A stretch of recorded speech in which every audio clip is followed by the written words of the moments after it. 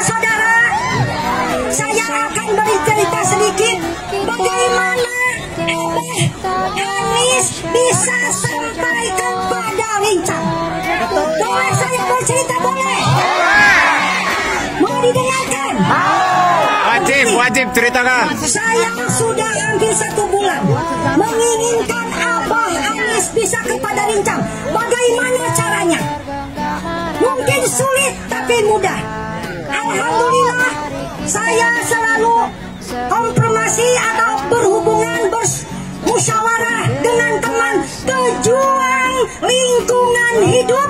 Bagaimana Abah Anis bisa datang kepada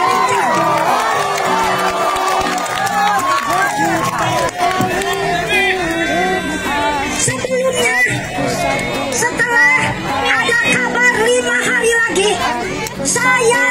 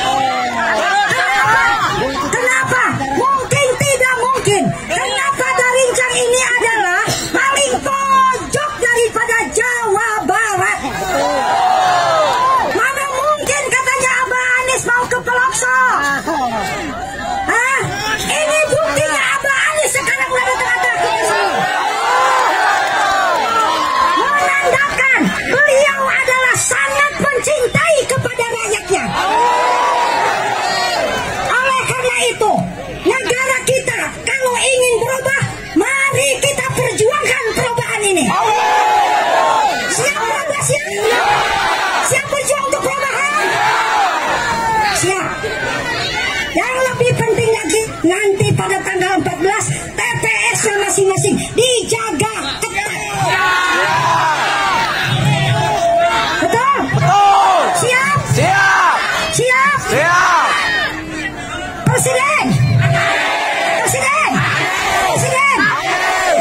Kemudian Abah, Perubahan. saya ada permintaan.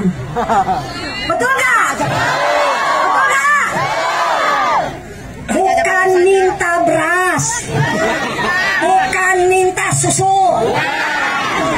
Kita minta nanti kalau Abah Amin, Abah Anis sudah dilantik pada tahun 2024 sampai tahun 2029. Maka yang saya minta dan masyarakat pada Rincang tengok kembali kami Bang.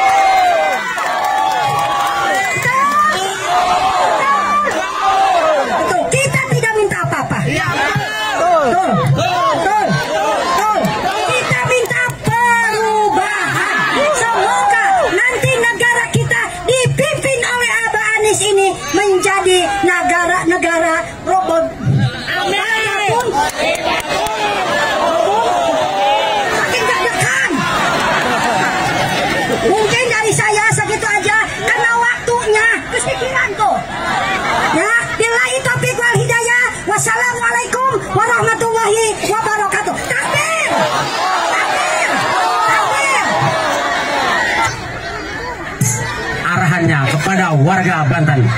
Takbir. Eh, semua aku ya, dimohon untuk duduk.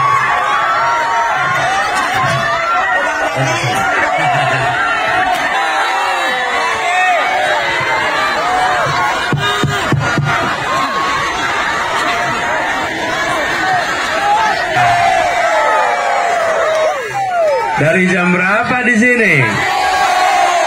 Dari jam berapa? Dari jam satu. Panas tidak tadi? Tidak bergeming. Tidak berubah. Memang ini pejuang semuanya ada di sini luar biasa. Assalamualaikum warahmatullahi wabarakatuh.